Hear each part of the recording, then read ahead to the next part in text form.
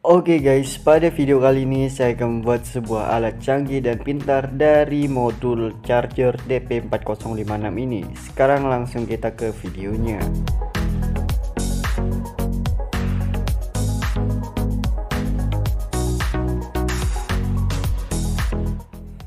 Oke guys, untuk bahan yang pertama kalian siapkan satu buah modul TP4056 dan yang paling bagus itu yang ada proteksinya yang seperti ini. Dan sekarang kita langsung rakit ya. Sebenarnya saya sudah pernah buat video ini namun menurut saya itu kurang jelas ya dan saya akan membuat lagi di video ini dengan sejelas yang saya bisa guys. Oke untuk bahan selanjutnya kalian siapkan satu buah transistor NPN TIP 31C bisa pakai di 882 BD139 atau TIP 41C itu bebas guys dan untuk kakinya yang pertama adalah basis kedua kolektor dan ketiga adalah emitor guys. Untuk yang basis sekarang kita pasangkan ke bagian output negatif dari TP4056 nya guys. Untuk bahan selanjutnya kalian siapkan dua buah dioda IN4007 ini dioda 1 ampere ya. Dan sekarang langsung kita pasang saja. Untuk yang polos itu adalah anoda dan ada gelang putihnya itu adalah katoda guys untuk yang anoda kita pasangkan ke basis dan yang katoda kita pasangkan ke bagian emitor dari transistornya. Seperti ini ya guys. Ini sangat gampang. Dan sekarang kita solder yang kaki satunya. Oke untuk selanjutnya dioda yang kedua ini. Sekarang yang katoda yang kita pasangkan ke bagian kaki basis. Dan untuk yang anoda itu nanti kita pasangkan ke resistor ya seperti ini guys. Pemasangannya. Selanjutnya kalian siapkan satu buah resistor 330 ohm. Kalian bisa pakai satu perempat watt. Eh, mau mau pakai yang seperempat watt mau yang setengah watt itu bebas guys ya. Dan sekarang kita pasangkan untuk satu kakinya yang resistor di bagian output positif dari TP4056 nya satunya lagi ke bagian kaki anoda dari dioda yang kedua guys. Untuk selanjutnya kalian siapkan satu buah LED 3 volt.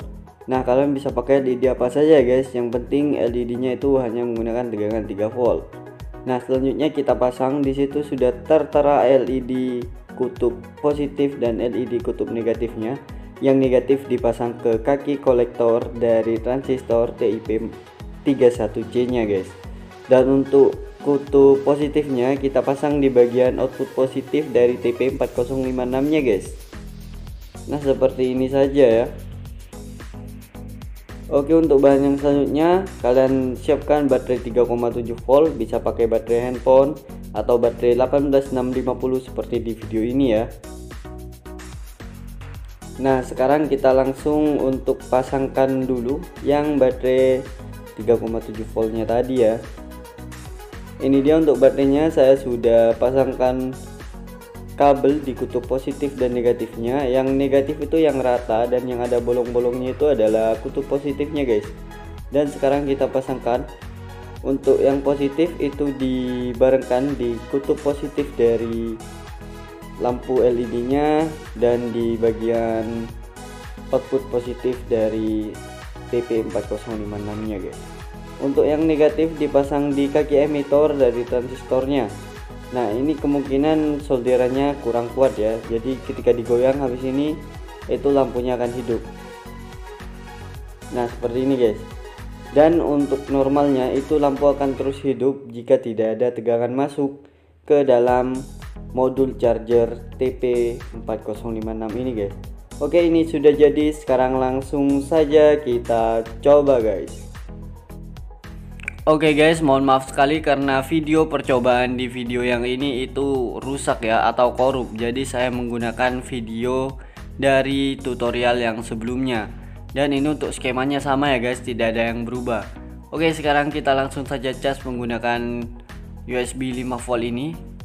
Dan ketika kita colokan kita lihat nah dia akan mati guys untuk lampunya dan dia akan mengecar si baterainya ketika listrik hidup maka dia akan mengecas baterainya guys. Dan ketika listrik padam atau mati maka dia akan menghidupkan si lampunya guys. Karena tidak mendeteksi bahwa ada tegangan masuk ke dalam modul chargernya ya. Nah seperti ini guys. Ketika listrik padam maka dia akan hidup. Dan tidak akan ada indikator mengecas si baterai ini. Karena si baterainya itu akan digunakan untuk menyalakan lampunya tadi ya. Ketika listrik hidup lagi seperti ini maka lampunya akan mati dan akan ada indikator bahwa dia akan mencharge si baterai tadi ya. Dan saya sarankan kalian juga menggunakan modul TP4056 yang ada proteksi seperti yang di awal tadi guys karena ini akan di charge secara terus menerus jadi ketika si baterainya full maka dia akan memutuskan aliran arusnya dan itu sangat aman. Oke sampai di sini saja video kita kali ini. Semoga bermanfaat